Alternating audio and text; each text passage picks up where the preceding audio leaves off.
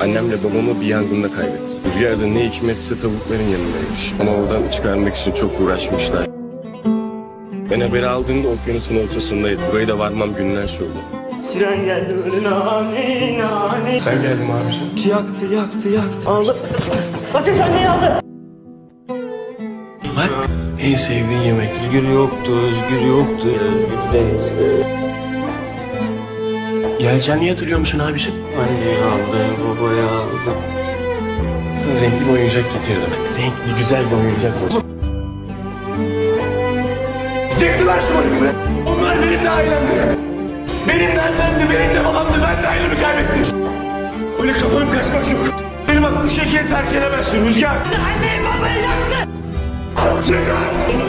Lan bir kerecik abim. Bir kerecik